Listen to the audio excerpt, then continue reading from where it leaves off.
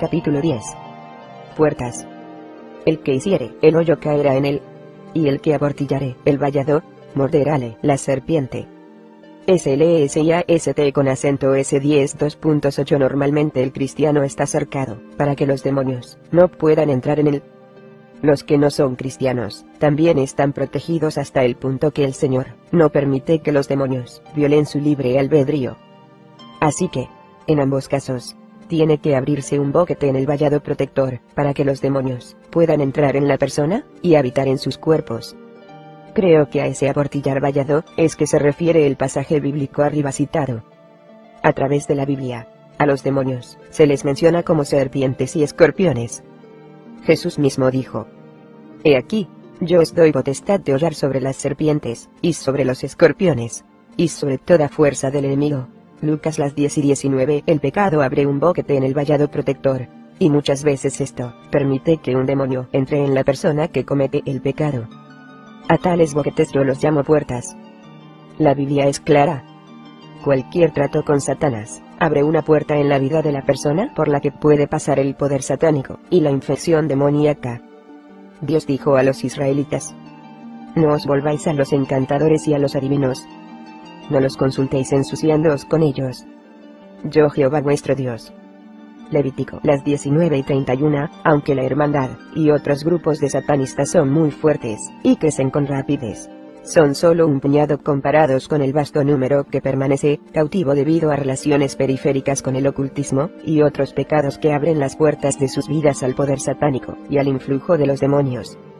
Mi pueblo fue talado, porque le faltó sabiduría, Oseas 4.2.6 Toda persona debe estar consciente de posibles puertas en su vida. Pero es también importante que se entiendan lo que son esas puertas para hablar del Evangelio a los demás con efectividad. Muchos no pueden aceptar a Cristo cuando se lo presentamos, porque su voluntad y su mente están literalmente atados por los poderes de las tinieblas debido a alguna puerta que en el pasado, o en el presente, se abrió en sus vidas. Que si nuestro Evangelio está aún encubierto, entre los que se pierden está encubierto, en los cuales el Dios de este siglo cegó los entendimientos de los incrédulos, para que no les resplandezca la lumbre del Evangelio de la gloria de Cristo, el cual es la imagen de Dios. 2 Corintios 4 2.3 4 Este es un principio muy importante al atender los asuntos de nuestro Padre, y hablar del Evangelio de Jesucristo a otras personas. Muchos están literalmente atados por espíritus demoníacos, desde adentro o desde afuera, y no tienen libre albedrío. No pueden decidir aceptar a Jesucristo como Salvador, y sus mentes están similarmente cautivas, y no pueden entender el mensaje del Evangelio. Como dice el pasaje arriba citado, el Dios de este siglo cegó los entendimientos de los incrédulos, para que no les resplandezca la lumbre del Evangelio. Este es un principio tan importante que deseo presentar varios ejemplos antes de hablar de ciertas puertas. 1. Unos amigos míos, Marcos y Katy, no son sus verdaderos nombres. Habían estado tratando de hablar del Evangelio a una pareja que eran socios, además de amigos. Aquella pareja nunca parecía interesarse ni siquiera en empezar a entender que necesitaban un Salvador. Habían tenido muchos problemas en la vida matrimonial, y los dos habían participado en aventuras extramaritales. Finalmente, Marcos y Katy leyeron mi primer libro, El vino a libertar a los cautivos y aprendieron mucho en cuanto a atar demonios de la mente y la voluntad. Decidieron tratar de atar los demonios de sus amigos. La oportunidad se presentó la próxima vez que salieron a comer con la pareja. Durante la comida, la esposa empezó a discutir con su marido, y los comentarios se volvían más agrios cada vez. Por último, cuando sirvieron el postre, Katy no pudo aguantar más. Se excusó para ir al baño. Apenas se apartó de la mesa unos metros, calmadamente, pero en voz alta, dijo. Demonios que están causando esta disputa, los ató en el nombre de Jesucristo, y les ordenó que callen. El cambio fue inmediato y extraordinario. El semblante de la esposa cambió, cambiaron de tema abruptamente, y no volvieron a decirse cosas desagradables durante el resto de la noche. Durante el próximo mes, Katy y Marcos ataron a los demonios cada vez que estuvieron en presencia de la pareja. Como resultado, en menos de un mes, la esposa entregó su vida a Jesucristo. El matrimonio cambió radicalmente, y la esposa, ahora está orando intensamente por su esposo, y creciendo en el Señor. Hasta que Marcos y Katy, ataron a los demonios. La esposa no pudo comprender bien que necesitaba un Salvador, ni podía tomar la determinación de aceptar a Jesús. 2. Jane es una enfermera de 35 años de mi pueblo natal. Trabajé con ella hace varios años, cuando yo todavía era enfermera. Me encontré con ella hace algún tiempo. Le sorprendió el cambio que vio en mí, y como resultado pude sentarme a hablarle de 10 que el Señor había hecho en mi vida. Su respuesta fue, tú sabes, he tenido otros dos amigos que en los últimos cinco años también han entregado sus vidas a Cristo, y han cambiado dramáticamente de personas insatisfechas e infelices a personas llenas de gozo y paz. A veces he pensado que debo hacer diez mismo, pero no he podido. Por eso ya ni lo pienso. ¿Por qué no puedes entregarle tu vida a Cristo? Le pregunté. Es que veo los beneficios, pero no puedo. Hasta me siento ansiosa e inquieta cuando hablamos de esto. Dejémoslo así. No quiero seguir hablando de este asunto. Un tiempo atrás, allí 10 hubiera yo dejado todo. Pero, gracias al Señor, y al entrenamiento que me ha dado, puedo reconocer todos los síntomas. Así que insistí. Solo una pregunta más. Cuando tratas de pensar en Jesús, es como si chocaras contra una pared en blanco, y se te volviera un esfuerzo seguir pensando, y entonces dejas de hacerlo. Exactamente. ¿Cómo lo sabes? Es que he estado en la escuela de Dios. Dime, ¿en qué actividades ocultistas has participado? Reaccionó con enorme sorpresa. Como diez sabes. No, no ha sido mucho, pero por divertirme fui a que me leyeran las manos hace como ocho años. Desde entonces he vuelto varias veces a visitar quirománticos y adivinos, además de que hace poco me dijeron el horóscopo.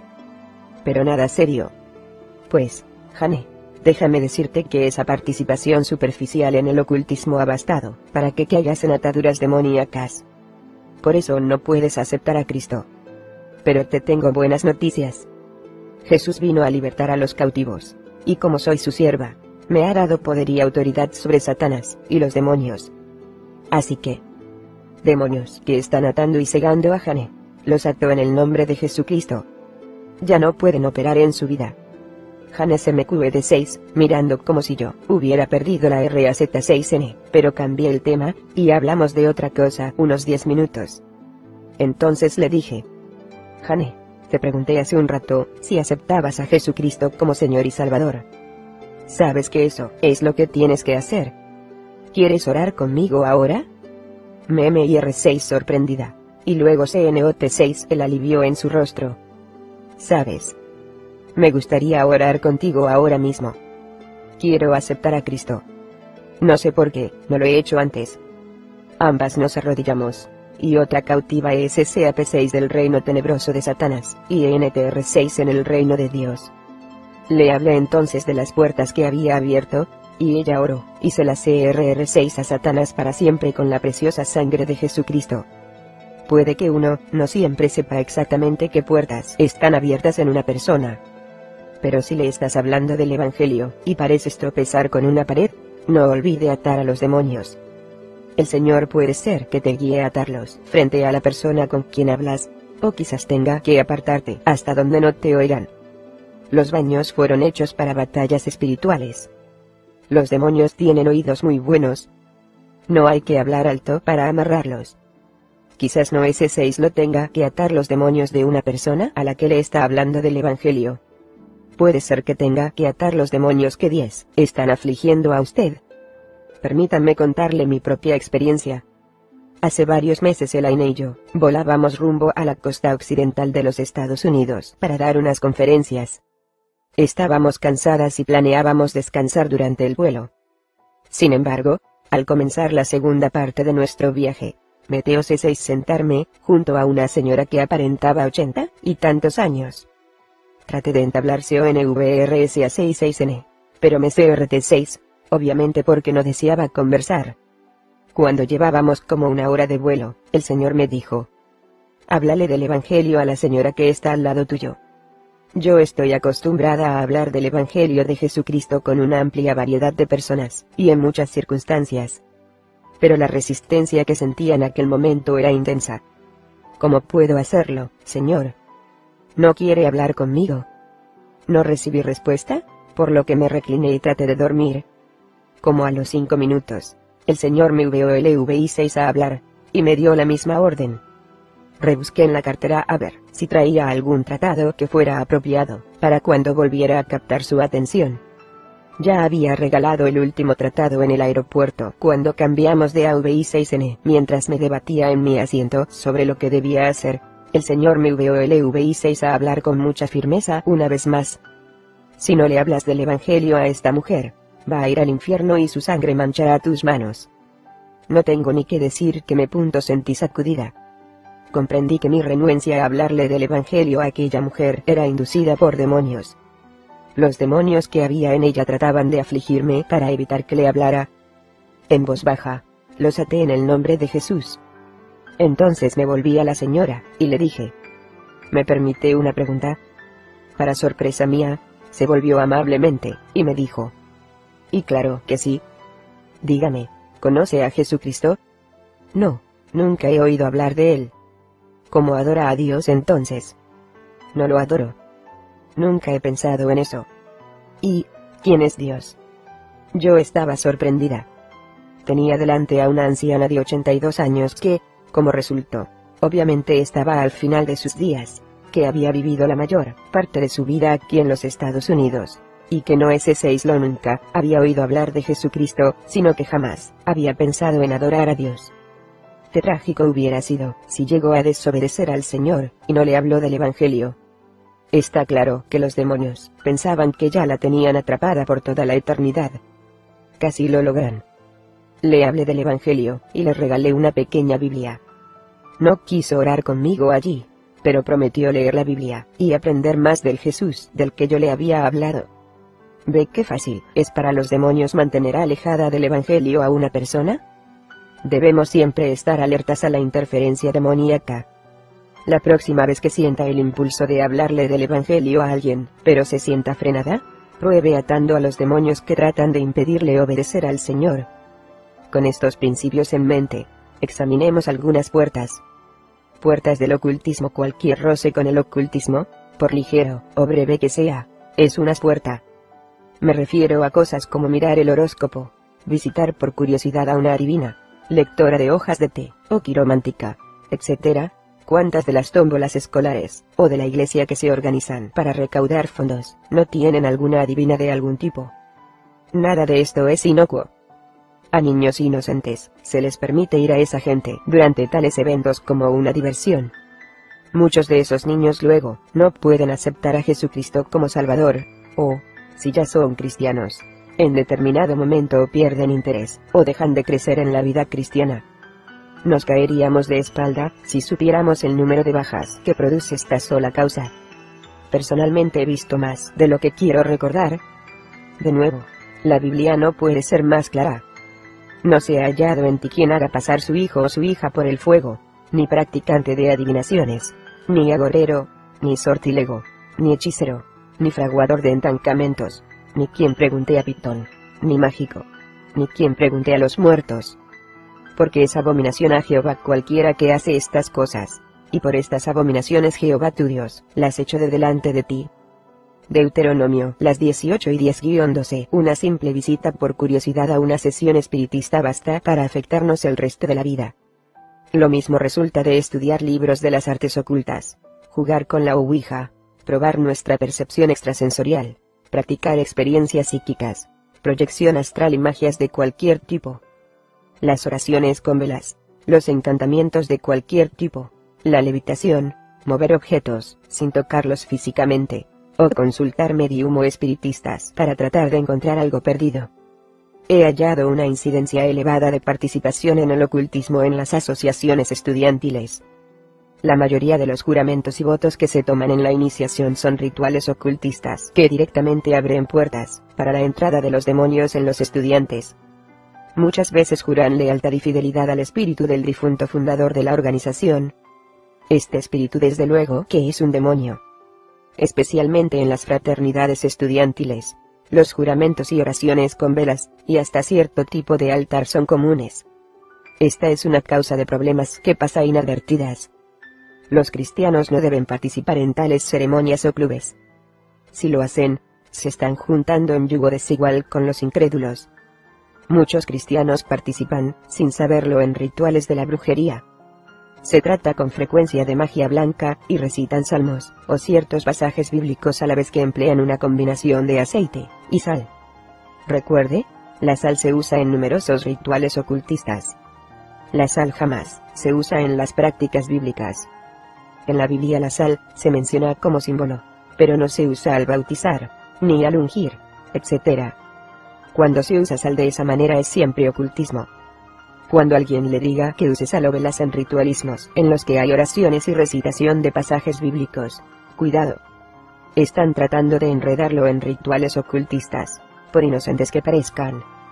Otra cosa de la brujería que los cristianos usan, sin saber, son las hierbas. Muchos herboralios, y sus dueños practican la brujería. Echan encantamientos a las hierbas, y por eso, dan tan buenos resultados.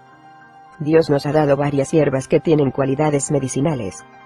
Pero si usted desea emplear alguna hierba como medicina, le recomiendo mucho que la cultive usted mismo. Casi todas las que se compran por ahí han sido usadas en algún tipo de ritual. Lo mismo puede decirse de muchas de las tiendas de alimentos salutíferos.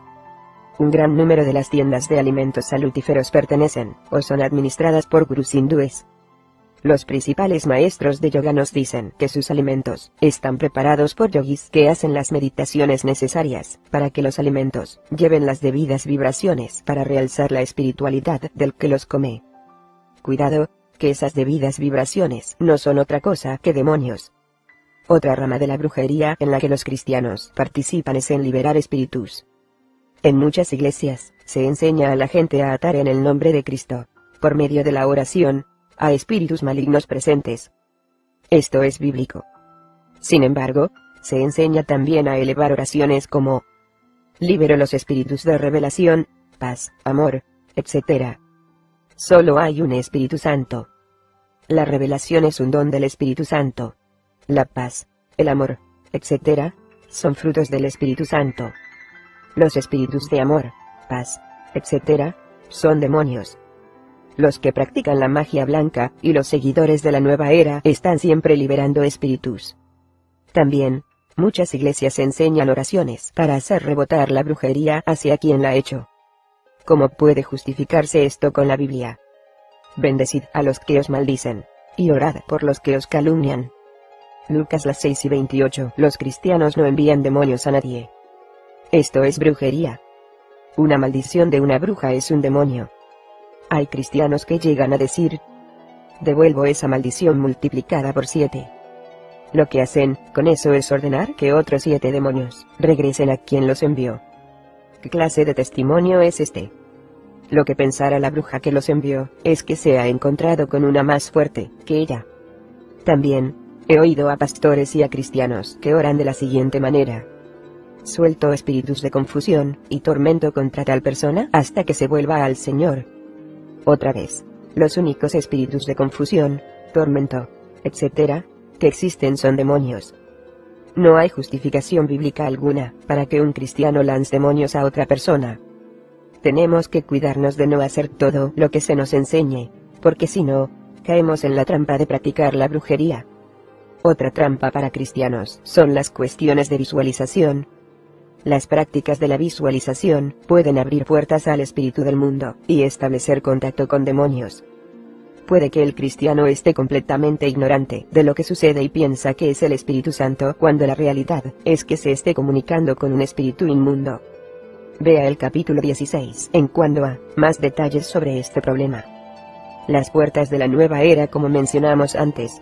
Tras muchas de las tiendas de alimentos salutíferos hay gurús hindúes, Muchas de las enseñanzas hindúes de la nueva era son presentadas como científicas. Las dietas son una gran parte de este movimiento, especialmente el vegetarianismo. He visto cantidad de personas atrapadas en lazos demoníacos por frecuentar herbolarios y tiendas de alimentos salutíferos, y mantener una dieta vegetariana rígida de las prescritas en varias revistas y libros que contienen las enseñanzas de la nueva era. El yoga es a menudo una puerta que descuidamos, como explico en el capítulo 13, El propósito del yoga es conectar o ayuntar con el dios hindú Brahman. El yoga no es solo ejercicio físico. Es imposible separar el yoga de la religión hindú, porque el yoga es religión. Nunca lo enseñan, sin enseñar a la vez meditación, salud mental, etc. El propósito del yoga kundalínico, por ejemplo, es despertar y dominar las fuerzas kundalínicas. Literalmente, Kundalini quiere decir serpentino, y es el nombre de una diosa hindú simbolizada por una serpiente con tres anillos y medio que duerme, con la cola en la boca. Se dice que esta serpiente reside en el cuerpo humano cerca de la base de la columna vertebral. Cuando se le estimula con el debido control da fortaleza, poder y sabiduría, además de muchas habilidades psíquicas, aun la de sanar milagrosamente. Esta fuerza no es más que un demonio. En los departamentos de terapia física, se enseña abiertamente el yoga kundalínico, para la reducción de la presión arterial, y una amplia variedad de otras anormalidades médicas. Esta es sanidad demoníaca. El yoga tantra, se ha vuelto muy popular entre los profesionales de la medicina y los altos gerentes de empresa de Europa, y los países escandinavos. El yoga tantra es satanismo puro, con sacrificios humanos y todo. Los maestros del yoga tantra, hablan mucho de varios poderes, vibraciones y energías, que en realidad son demonios. Algunos maestros de yoga están en sí engañados, y no comprenden que lo que están enseñando es hinduismo. Pero no tienen excusa. Ni tampoco sus estudiantes. Debemos siempre analizarlo todo, y estar seguros del significado exacto de los términos que se emplean en cualquier tipo de actividad. La meditación es algo que no se entiende mucho, se enseñan tantas formas de meditación que es imposible enumerarlas. Sin embargo, hay algunos principios básicos que podemos observar fácilmente. Todas las meditaciones de corte oriental tienen como propósito la autopercepción, y obtener una más elevada conciencia de un mismo. La autopercepción es en realidad el proceso mediante el cual uno aprende a dominar su espíritu se logra un grado más alto de autopercepción a medida que la persona empieza a comunicarse con los diferentes espíritus demoníacos. Muchas veces la gente tiene un demonio particular al que llama guía o consejero. En la Biblia hay varias referencias a la meditación, pero hay una gran diferencia entre la meditación que es de Dios y la meditación satánica. Una de las principales referencias a la meditación la hallamos en Josué. El libro de Aquesta ley nunca se apartará de tu boca antes de día y de noche meditarás en él, para que guardes y hagas conforme a todo lo que en él está escrito. Porque entonces harás prosperar tu camino, y todo te saldrá bien. Josué 1.2.8 deseo recalcar que la meditación a que se refiere este pasaje, abarca la activa lectura, aprendizaje y memorización de la ley que Dios entregó a los israelitas. Josué debía aprenderse la ley de tal manera que llegara a ser parte de él mismo. David siguió el mismo principio, y lo menciona en el Salmo 119. Con que limpiará el joven su camino. Con guardar tu palabra. Con todo mi corazón te he buscado. No me dejes divagar de tus mandamientos. En mi corazón he guardado tus dichos, para no pecar contra ti. Salmo 119 2.9-11 Aquí de nuevo, David estaba haciendo algo en forma activa. Aprender y memorizar la ley de Dios para no apartarse de ella. En ninguna parte de la Biblia se habla de meditación pasiva. La meditación satánica es pasiva. Satanás quiere que los hombres pongan la mente en blanco, que intenten quitarse de la mente cualquier pensamiento. Esto abre directamente las puertas a la influencia demoníaca, porque en realidad Dios nos manda a sujetar nuestros pensamientos, no a dejar la mente en blanco. Si uno no controla su mente, Satanás lo hará. Pues, aunque andamos en la carne, no militamos según la carne, porque las armas de nuestra milicia no son carnales, sino poderosas en Dios, para la destrucción de fortalezas, destruyendo consejos, y toda altura que se levanta contra la ciencia de Dios, y cautivando todo intento a la obediencia de Cristo. 2 Corintios 10 2.3-5 Tú le guardarás en completa paz, cuyo pensamiento en ti persevera, Isaías 26 2.3. Estos pasajes demuestran claramente que la orden que se nos da, es que mantengamos nuestros pensamientos bajo sujeción, no que dejemos la mente en blanco. Cualquier enseñanza sobre meditación que diga que hay que dejar la mente en blanco, limpia de todo pensamiento, o que hay que estar repitiendo ciertas frases para poder dejar la mente en blanco, procede de Satanás. Jesús les dijo llorando, no seáis prolijos, como los gentiles, que piensan que por su parlería serán oídos.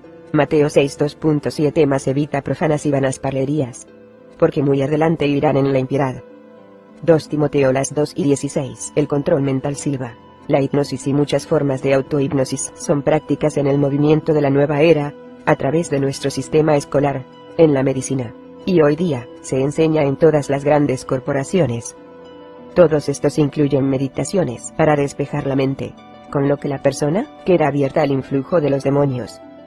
En muchos casos, como en el control mental silva, la gente llega a conocer espíritus guías llamados consejeros, o cualquier otra cosa. Se enseña que esos consejeros existen en lo más profundo de nuestra mente y personalidad, partes inconscientes de la mente asequibles solo mediante técnicas especiales. Todo es una mentira. Tales técnicas ponen a la gente en contacto directo con los demonios. En casi todos los supermercados en los Estados Unidos, venden grabaciones subliminales sobre una amplia variedad de tópicos como bajar de peso, relajación, alivio de la tensión, autoimagen positiva, y así, ad infinitum. Todas estas grabaciones tienen sonidos repetitivos que ayudan al oyente a dejar la mente en blanco.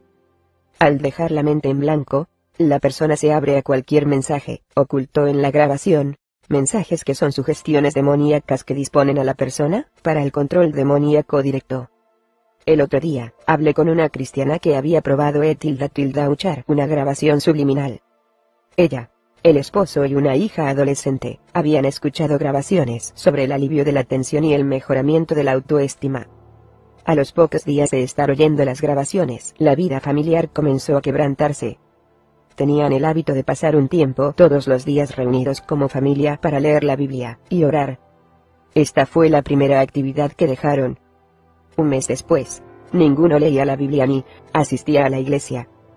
No podían entender la causa de ese cambio repentino en sus vidas. La causa eran las grabaciones subliminales. Una vez que le pidieran perdón a Dios por usar instrumentos ocultistas, ordenaron a los demonios que se fueran, y sacaron de la casa tales materiales, pudiendo de nuevo disfrutar la oración y el estudio bíblico. Me alegro que hayan descubierto tan pronto la causa de su problema. Muchos cristianos pierden completamente su relación con el Señor por medio de materiales subliminales. La acupuntura es una forma de curación demoníaca. El propósito de la acupuntura es precisamente despertar las fuerzas kundalínicas para efectuar la sanación de la persona. La bioreacción, biofeedback en inglés, es extremadamente popular en muchas clínicas del dolor, y se emplea para regular los dolores de cabeza y la presión arterial. La bioreacción produce el mismo estado de conciencia modificada, o sea, contacto con el mundo espiritual que las diversas formas de meditación y autohipnosis. Adiestra a la persona, para que domine su cuerpo espiritual, el que a su vez, domina el cuerpo físico. Otra vez, esto es cura demoníaca. La autohipnosis está penetrando mucho en varios sistemas escolares públicos. Sé de un grupo de padres cristianos que han apelado a las cortes para que eliminen esas prácticas de las escuelas públicas han demostrado que sin lugar a duda los diferentes métodos que se están enseñando son más hinduismo que ciencia, pero no han logrado cambiar el currículo escolar. Los padres tienen que interrogar a sus hijos cuidadosa y frecuentemente sobre lo que están aprendiendo en la escuela. La práctica del yoga es muy común desde el primer grado porque facilita el control del alumno en el aula. La visualización es también una técnica común en los diferentes cursos sobre el control de la mente de la nueva era. Creo que la visualización es la piedra angular para establecer contacto con el mundo espiritual. Se usa intensamente en el control mental silva, y en varias formas de meditación, especialmente para la curación psíquica. Todo esto abre las puertas a los demonios. Puertas del anime según mi experiencia, los demonios parecen hacer un esfuerzo determinado a establecer contacto en la vida de cada niño en su temprana edad. Casi todos los que he entrevistado, cristianos o no, me hablan de cierto acontecimiento extraño en sus primeros años, que obviamente es demoníaco. Por lo general es una pesadilla muy vivida que no parecía ser un sueño. Veamos unos ejemplos. Jim recuerda claramente un incidente a los 4 o 5 años de edad. Su cuarto tenía un librero de 6 pulgadas que cubría dos paredes. Una noche despertó y sintió algo extraño en el cuarto. Sentado en la cama, veía criaturas a lo largo de los estantes. Tenían un fiero aspecto, y le lanzaban flechas. Se aterrorizó tanto que corrió al cuarto de sus padres. Esa fue la única vez que recuerda acostarse en la cama con sus padres. Sus padres no eran cristianos, y simplemente tomaron el incidente como una pesadilla infantil. El caso de Jenny fue un poco diferente. Sus padres no eran cristianos, y había heredado una cantidad de demonios a los que hubo que hacer frente ya de adulta, después de su conversión. Puede recordar bien un incidente cuando tenía como cuatro años. Un monstruo verde apareció de pronto una noche, y atravesó su cuarto. No la asustó mucho. Recuerda muy bien que aquella cosa caminó, y se dirigió por el pasillo hasta el cuarto de sus padres. Sus padres no se despertaron, cuando lo contó al siguiente día, le dijeron que no, era más que un sueño. Juan siempre supo que había engendros de maldad en el closet de su cuarto en una casa en la que vivió siendo niño.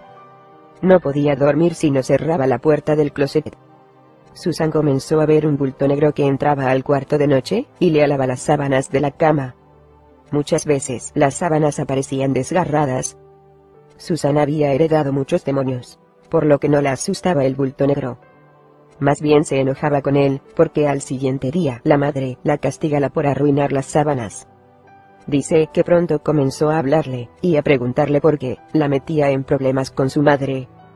Su respuesta fue que no debía preocuparse, porque la iba a ayudar a cobrárselas de su madre por castigarla injustamente. Susan ingresó muy joven en el satanismo, y con facilidad y rapidez, establecía contacto con los diferentes demonios, Judith tenía padres cristianos que no estaban alerta. A los tres o cuatro años de edad, empezó a despertar de noche, y ver una figura negra de pie, junto a su cama. Al principio se aterrorizaba, pero sus padres, invariablemente le decían que era un sueño. Finalmente, comenzó a hablarle a la figura, y pronto le perdió el miedo. Judith tenía una abuela que era bruja, y en su temprana adolescencia, anduvo metida en brujería, y establecía contacto con demonios pasados los 30 años de edad aceptó a Jesucristo. ¿Cuál hubiera sido el curso de su vida, si sus padres, hubieran estado lo suficientemente alertas para frenar el contacto con los demonios en su temprana edad? Este es otro niño que tuvo experiencias demoníacas a temprana edad. Al despertar sentía que un espíritu malo estaba bajo su cama. Cuando trataba de moverse o llamar quedaba paralizado. Desde niño fue bien rebelde, y experimentó la misma parálisis demoníaca más tarde al tomar drogas en la calle. Tuvo que recorrer un largo camino para alcanzar liberación en Jesucristo. Otra vez, ¿qué hubiera sucedido si sus padres hubieran sido cristianos y hubieran protegido al niño con el poder de Jesucristo? Quizás Steven no hubiera sido tan rebelde y hubiera aceptado a Cristo en su temprana edad, lo que le hubiera evitado tanto dolor y tristeza.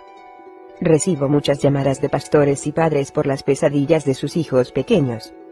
Una vez que comprenden que lo que muchas veces parece un sueño o pesadilla es una experiencia real en el mundo espiritual, pueden orar y ungir al niño. Ungir al niño y ungir, y sellar el cuarto, suele resolver el problema.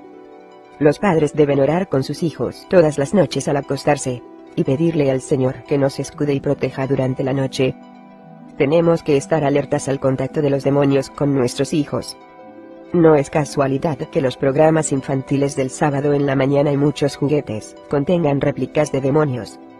Tales juguetes predisponen al niño para la aparición de demonios y los hacen receptivos al contacto con ellos. Cuando un niño juega con tales juguetes y se imagina las figuras en acción, muy fácilmente comienzan a establecer contacto con el mundo espiritual. Padres, tomen nota. Si su hijo teme acostarse, porque hay algo en el closet o bajo la cama, puede estar teniendo contacto con el mundo espiritual. Enséñele a orar que Jesús lo proteja, y enséñele a reprender en el nombre de Jesús a cualquier cosa que lo asuste. Tuve un paciente de 6 años en mi consultorio médico. La madre me lo llevó, porque tenía pesadillas todas las noches, y no respondía a la terapia psiquiátrica. Durante varios años, todas las noches se despertaba gritando, a todas luces horrorizado. Sus padres no eran creyentes. Le pedí permiso a la madre para ungir a Tommy y orar por él. Estuvo de acuerdo. Ungí a Tommy y demandé que cualquier demonio que tuviera saliera de él, y le pedí al Señor que lo escudara y protegiera. Luego le hablé con toda naturalidad del Evangelio, y oró conmigo aceptando a Jesucristo como Salvador. Por último, le enseñé que cuando algo lo asustara debía decir, Jesús, ayúdame, estuvo de acuerdo. Sus pesadillas cesaron inmediatamente, y el resto de la familia a la postre, aceptó al Señor como resultado de aquella obra maravillosa en la vida de Tommy. Su madre me dijo después que de vez en cuando la despertaba la vocecita de Tommy que le decía, Jesús, ayúdame. Vete, malo, que Jesús no dejara que me hagas daño. Ya no te tengo miedo.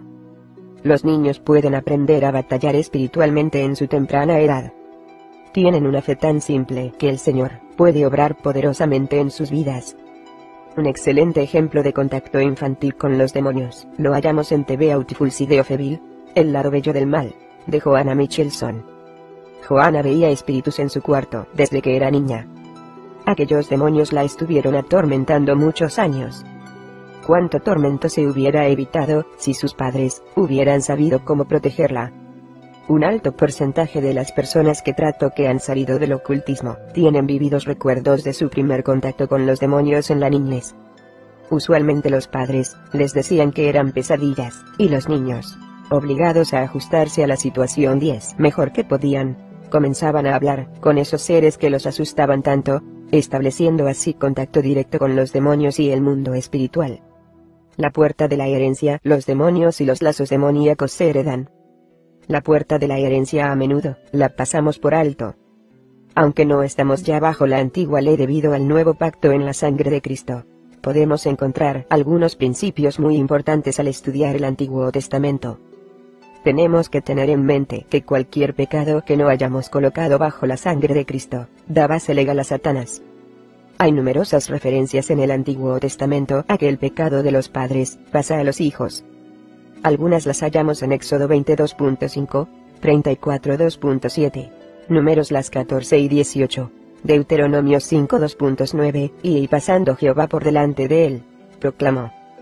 Jehová, Jehová, fuerte, misericordioso, y piadoso, tardo para la ira, y grande en benignidad y verdad, que guarda la misericordia en millares, que perdona la iniquidad, la rebelión, y el pecado, y que de ningún modo justificará al malvado que visita la iniquidad de los padres sobre los hijos, y sobre los hijos de los hijos, sobre los terceros, y sobre los cuartos. Éxodo 34 2.6, 7 También hallamos que cada vez que había algún avivamiento importante en Israel, el pueblo se reunía a ayunar y orar no solo para confesar sus propios pecados, sino los pecados de sus padres. Por ejemplo, y el día 24 del mismo mes, se juntaron los hijos de Israel en ayuno, y con sacos, y tierras sobre sí, y habíase ya apartado la simiente de Israel de todos los extranjeros. Y estando en pie, confesaron sus pecados, y las iniquidades pecados, y obras malas de sus padres. Nehemías 9 2.1-2 hallamos otras referencias en 2 Crónicas 29 2.1-11 durante el reinado de Ezequías. 2 Crónicas 34 2.19-21 y muchos otros lugares, el pecado de nuestros antepasados tiene un gran efecto sobre nuestras vidas, por eso es necesario cerrar la puerta de la herencia mediante oración, confesión, y el poder limpiador de la sangre de Jesucristo. Ciertas habilidades y demonios pasan de generación en generación. Un ejemplo de esto, que es comúnmente aceptado, es el don de leer el vaso de agua. Cualquier involucramiento en el ocultismo es especialmente dañino.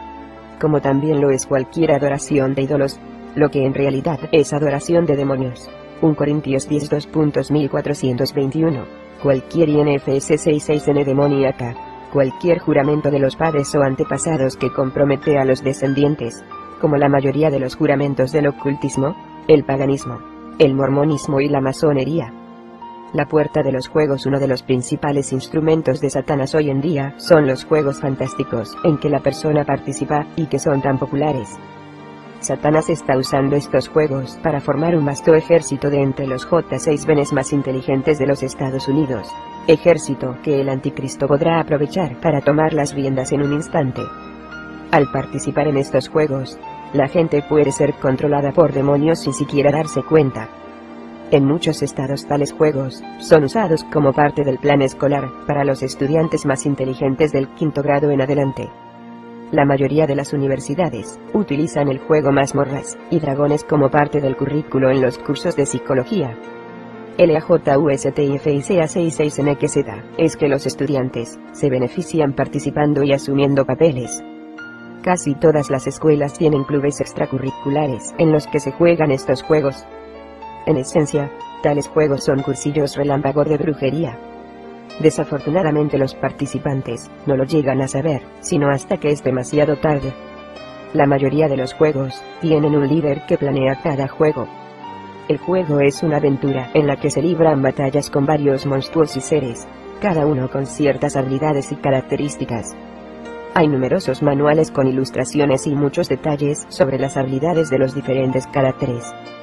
Los jugadores deben visualizar mentalmente la acción del juego, Mientras mejor vean la acción, y se anticipen a las jugadas de los diferentes monstruos y demás jugadores, más avanzado está uno en el juego.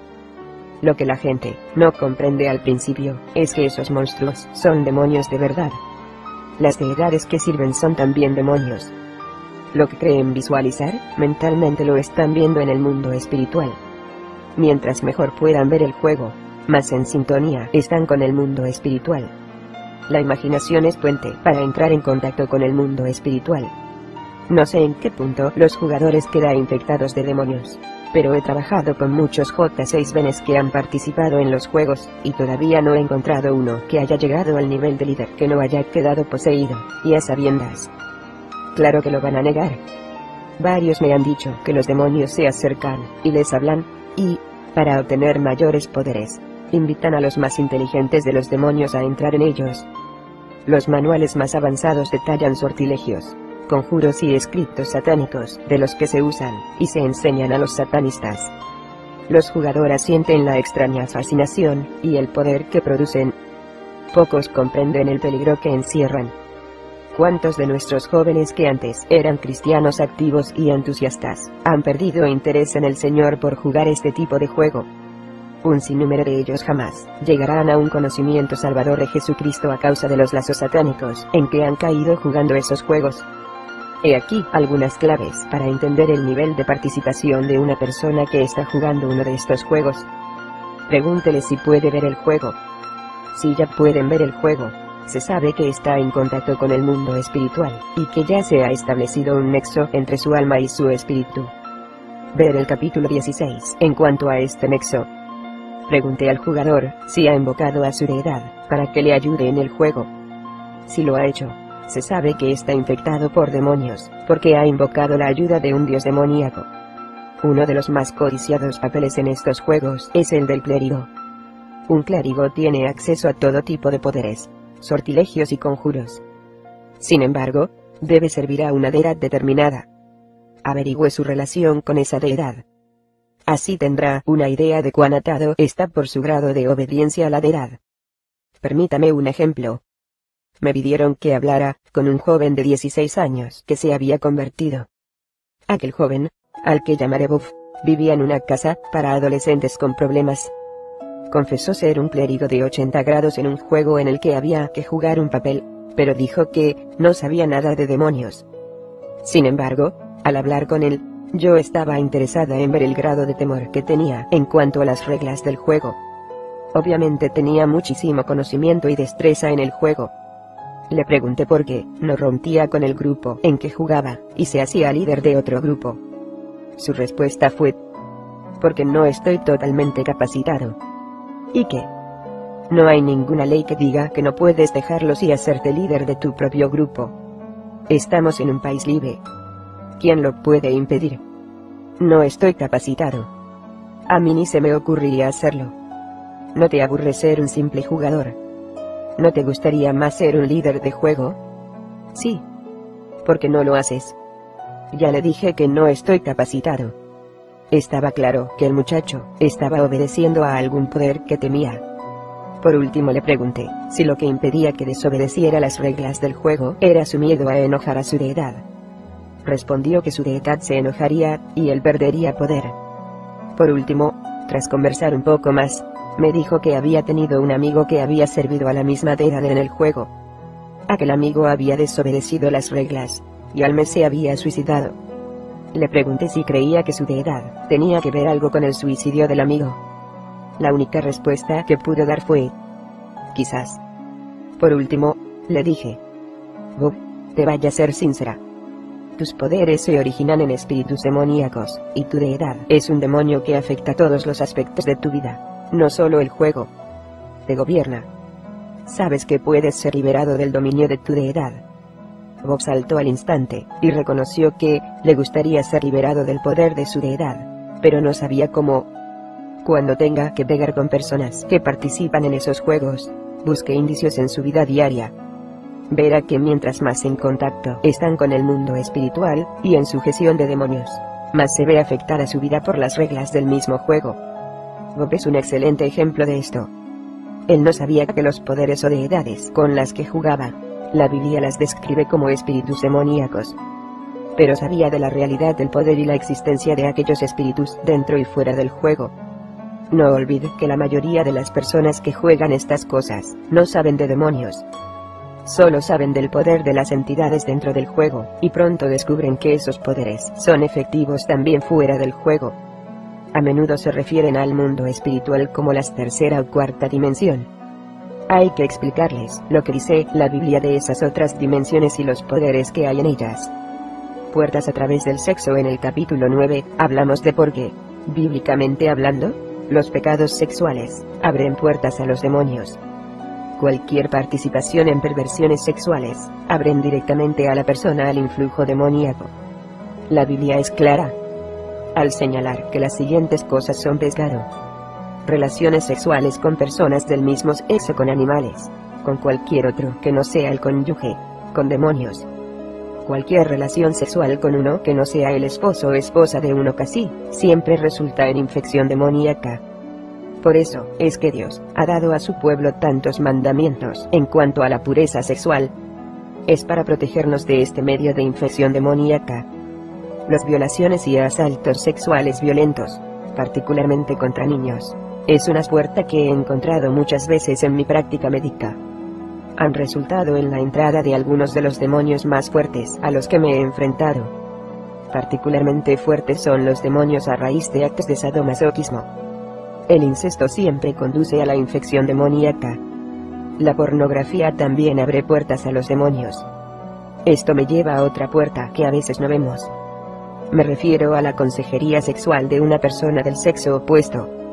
Algunas encuestas indican que más del 50% de los pastores protestantes de los Estados Unidos han tenido aventuras sexuales ilícitas. La trampa la pone el poder satánico ante la muy difundida desobediencia a la Biblia de los pastores. Empero tú, habla lo que conviene a la sana doctrina. Que los viejos sean templados, graves, prudentes, sanos en la fe, en la caridad, en la paciencia. Las viejas, asimismo, se distingan en un porte santo, no caluminadoras, no dadas a mucho vino, maestras de honestidad, que enseñan a las mujeres jóvenes a ser prudentes, a que amen a sus maridos, a que amen a sus hijos, a ser templadas, castas, que tengan cuidado de la casa, buenas, sujetas a sus maridos. Porque la palabra de Dios no sea blasfemada.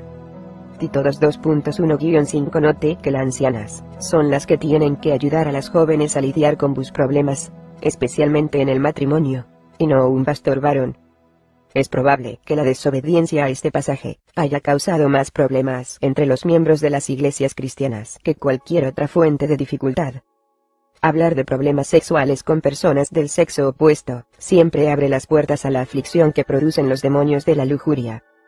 Si usted está sirviendo de consejero a una persona del sexo opuesto en cuestiones de problemas sexuales, usted está completamente expuesto a los ataques del reino de Satanás. Esto es también una táctica común de los satanistas. A una satanista le es muy fácil lanzar un demonio de la lujuria contra un pastor cuando acude a buscar sus consejos sobre tales cuestiones.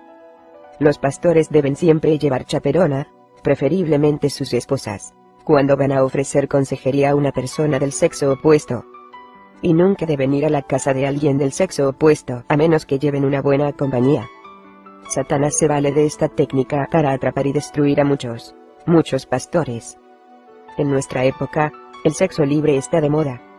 Tristemente, Demasiados cristianos salen con multitud de excusas que se presentan cuando se viola la palabra de Dios al respecto. Si lo estás haciendo, estás cayendo en trampas de Satanás y poniéndote bajo su control. Frecuentemente me preguntan sobre los problemas que surgen del coito entre marido y mujer cuando uno de los dos no es salvo y anda abiertamente en. Creo firmemente que el cónyuge cristiano puede en ese caso descansar en la promesa de Corintios. Y a los demás yo digo, no el Señor. Si algún hermano tiene mujer infiel, y ella consiente en habitar con él, no la despida.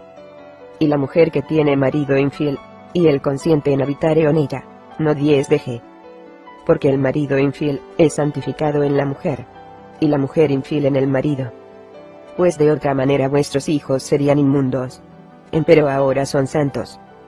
Pero si el infiel se aparta, apártese, que no es el hermano o la hermana, sujeto a servidumbre en semejantes caso. Antes a paz nos llamó Dios. ¿Por qué? ¿De dónde sabes? Oh mujer, si quizá harás salvo a tu marido. ¿O de dónde sabes? Oh marido, si quizá harás salvar a tu mujer. 1 Corintios las 7 y 12-16 En tales casos, el cónyuge cristiano, solo tiene que pedirle al Señor que santifique su lecho matrimonial, y a su cónyuge incrédulo, y cierre esa puerta con la sangre de Cristo, para que el cónyuge creyente, no se infeste de demonios durante el coiro. El aborto es otra puerta que siempre resulta en infección demoníaca. Es que el aborto en sí es un sacrificio humano al Dios del yo, que es Satanás. No es diferente de la antigua práctica del Antiguo Testamento en que pasaban a los niños por fuego, lo que era un sacrificio a Satanás. Las artes marciales, se nos pregunta mucho sobre las artes marciales. Muchos padres envían a sus hijos a aprender artes marciales para darles la oportunidad de interactuar con otros niños, y de adquirir confianza propia. El judo y el karate parecen ser ejercicios y disciplinas inofensivas. Un deporte, digamos. Tristemente no es eso solo. Estas artes se desarrollaron en una cultura saturada de adoración demoníaca, y la destreza que ofrecen, se basa en poderes demoníacos. Cualquier cosa por encima de los más elementales, niveles siempre encierra interacción con demonios. En el Oriente, después de cada práctica, el maestro y los estudiantes se inclinan ante lo que llaman Dios estante. Es un estante en el que colocan estatuas de diferentes dioses demoníacos, Generalmente este tipo de adoración de demonios no es tan abierta en el hemisferio occidental. Sin embargo, en el judo y el karate, es mucho más que inclinarse ante el dios estante. También, el maestro es considerado un señor que los estudiantes también adoran. Por eso se inclinan ante el maestro al comienzo de cada sesión. Tal genuflexión es un acto de adoración, y se practica en todas las formas de adoración de las religiones orientales. La realidad es que nadie recibe un cinturón café sin inclinarse ante los dioses demonios de alguna manera. En el hemisferio occidental se disfrazan esas ceremonias, pero las celebran de todos modos. Nadie puede recibir un cinturón negro sin saber que está usando poderes de cierto tipo. En el Oriente, la gente sabe bien que invocan los poderes de sus dioses. Los diferentes gritos que se enseñan y emplean en las artes marciales son ciertas formas de conjuros. Si se fija verá que los que practican las artes marciales emiten tales alaridos o gritos.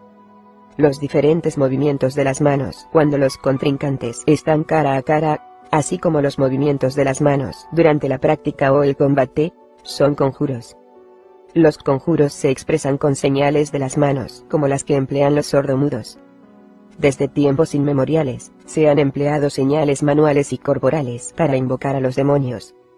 Las estrellas del llamado rock pesado, heavy metal rock, usan intensamente estos recursos. La mayoría de las personas ya están infestadas de demonios cuando llegan al cinturón café. Esos demonios en particular rara vez se manifiestan fuera de las artes marciales, con una excepción. Impiden que la persona se entregue a Jesucristo, y si ya es cristiana, interfiere mucho con su diario andar cristiano. Una de las marcas de tales demonios es el desarrollo de una arrogancia sutil. A tales personas les es casi imposible descansar en Jesucristo. Un vaso suele llevar al otro. Si uno comienza con clases de judo básicas, pronto ya estará participando en karate, yoga, etc. Si ya se es cristiano, los frutos del andar con Jesucristo pronto desaparecen. Es raro que una persona de estas guíe a otra a un profundo conocimiento de Cristo. Y hasta es raro que hable del Evangelio. La música rock, la música rock es de Satanás. Como muchas otras cosas. Desde el principio, todo el movimiento de la música rock fue planeado y puesto en marcha por Satanás y sus siervos. La música rock no surgió de por sí, sino que obedece a un cuidadoso plan nada menos que del propio Satanás. Escribí con algún detalle sobre el rock en mi primer libro, y no deseo repetir los conceptos. Si desea estudiar a fondo la música rock, recomiendo el libro T. de Oils Disciples The Truth Rock, Los Discípulos del Diablo.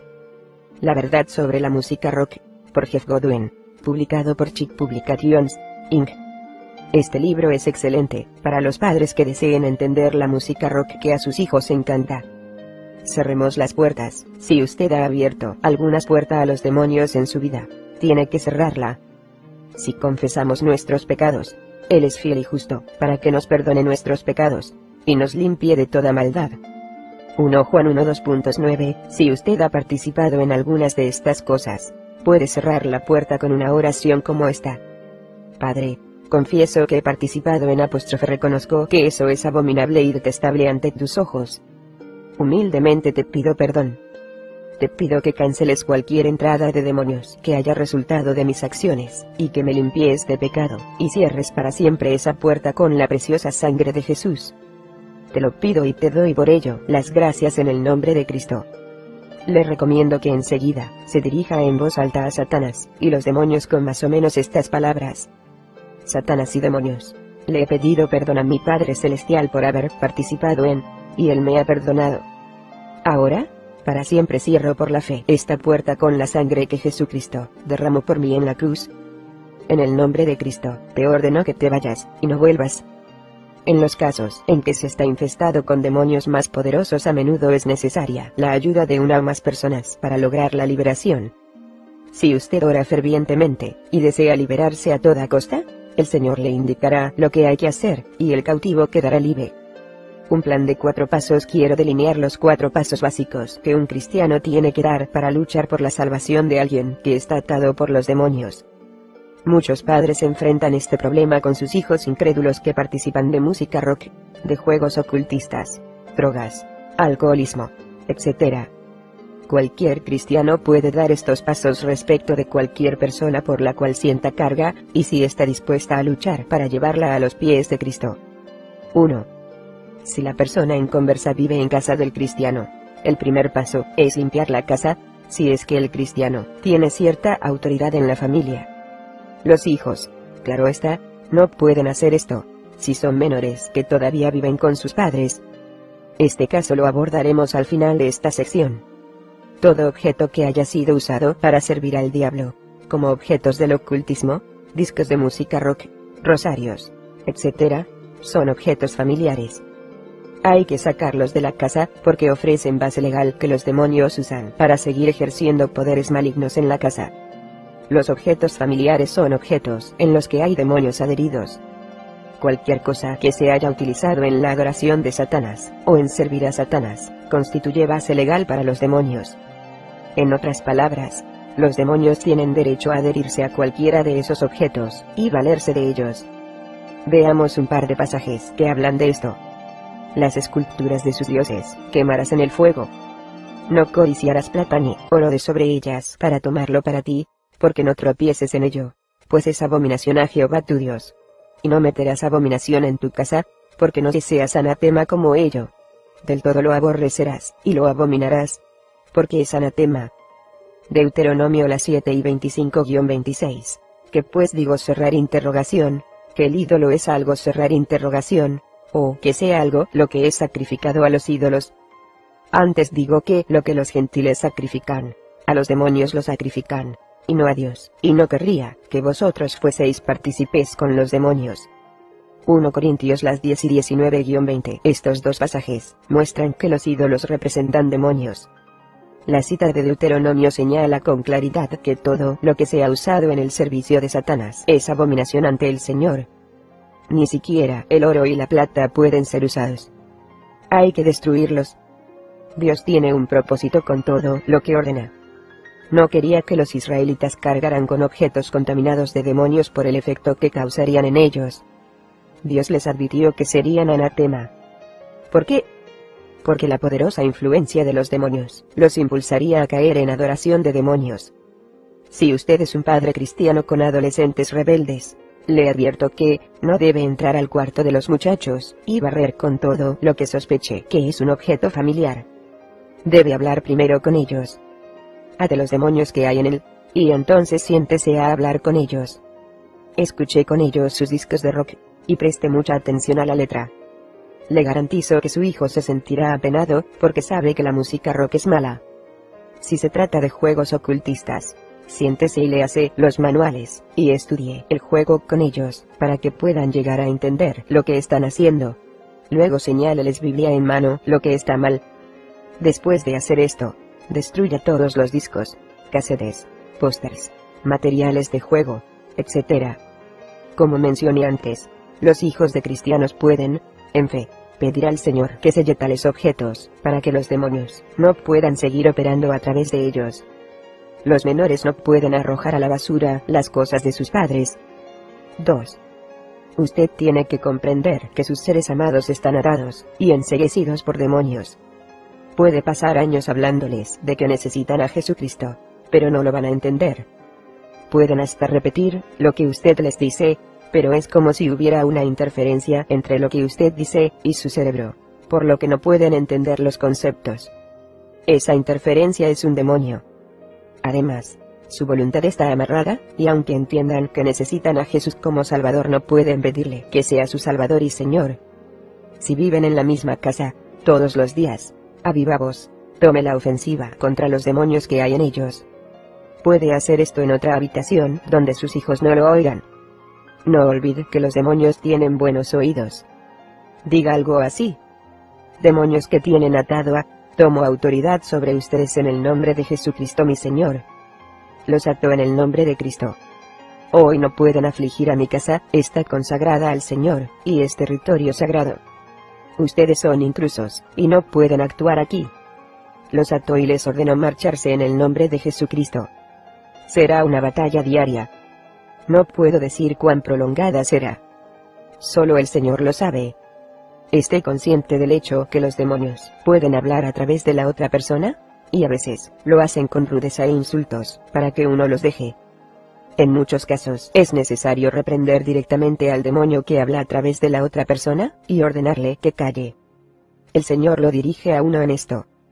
3. Usted puede pedirle al Señor que le permita ponerse al portillo a favor de quien no es salvo. De esto hablaremos con más detalles en el capítulo 16. Ver Ezequiel las 22 y 30-31. Pídale al Señor que le permita ponerse al portillo de esa persona, para que sus ojos se abran y queden en libertad de aceptar a Cristo. 4. Por último, tiene que entender la maravillosa posición de poder que tenemos en Cristo. Hebreos dice, Lleguémonos pues confiadamente al trono de la gracia, para alcanzar misericordia, y hallar gracia, para el oportuno socorro. Hebreos, las 4 y 16. Las escrituras nos enseñan que Satanás, se presenta ante Dios, y pide gente. El relato del primer capítulo de Job lo demuestra claramente. Además, es obvio que Satanás, le pidió a Dios que le diera a Pedro. Dijo también el Señor. Simón, Simón, he aquí Satanás, os ha pedido para zarandaros como a trigo. Mas yo he rogado por ti que tu fe no falte. Y tú, una vez vuelto, confirma a tus hermanos, Lucas las 22 y 31,32 Satanás, no es arrojado para siempre del cielo, sino hasta el capítulo 12 de Apocalipsis. Y fue hecha una grande batalla en el cielo. Miguel, y sus ángeles, lidiaban contra el dragón. Y lidiaba el dragón y sus ángeles, y no prevalecieron, ni su lugar, fue más hallado en el cielo. Y fue lanzado fuera aquel gran dragón, la serpiente antigua, que se llama Diablo y Satanás, el cual engaña a todo el mundo fue arrojado en tierra, y sus ángeles, fueron arrojados con él. Y oí una grande voz en el cielo que decía, Ahora ha venido la salvación, y la virtud, y el reino de nuestro Dios, y el poder de su Cristo. Porque el acusador de nuestros hermanos ha sido arrojado, el cual los acusaba delante de nuestro Dios día y noche. Apocalipsis 12 2.7-10 Hay que entender que Satanás se para ante el trono de Dios, y le pide nuestros seres queridos inconversos, Satanás levanta el dedo acusador y dice, Mira, fulano está oyendo música rock, o lo que sea, y tengo derecho a su alma, y a influenciar en su vida, y enviarle mis demonios a él. Como Dios es totalmente justo, tiene que acceder, si no hay oposición. Pero nosotros, como herederos y coherederos con Jesucristo, tenemos más derecho de pedirle a Dios que Satanás. Debemos acercarnos confiadamente al trono, y presentar peticiones contrarias. Debemos orar algo así. Dios y Padre, te presento una petición opuesta a la de Satanás. Vengo a ti en el nombre de Jesucristo mi Señor y reclamo a esta persona. La reclamo como la herencia que prometiste darme, si la persona es hija suya o cónyuge suyo. Satanás no puede tomarla. Te pido que, le abras los ojos, para que pueda ver la luz del Evangelio de Jesucristo. Si la persona por la que está pidiendo no es familia suya, puede pedirlas sobre la base de que Jesucristo nos ordenó a ser discípulos en todo el mundo, y podemos pedir a esa persona, para que sea discípula de Cristo.